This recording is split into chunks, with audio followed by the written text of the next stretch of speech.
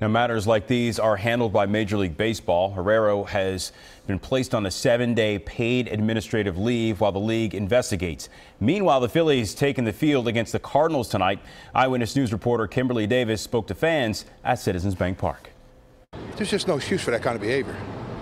I don't think so. You don't hit girls. Everyone has an opinion, and everyone we spoke with seems to think Major League Baseball made the right call by placing Phillies Odubel Herrera on administrative leave after being arrested for domestic violence charges. There's no uh, excuse for domestic violence today. I don't believe in domestic violence, and I think that it's a tragedy anytime that happens to someone. So, yes, they made a good decision. Monday, the 27 year old outfielder was arrested at the Golden Nugget Casino in Atlantic City after allegedly getting into a physical altercation with his 20 year old girlfriend.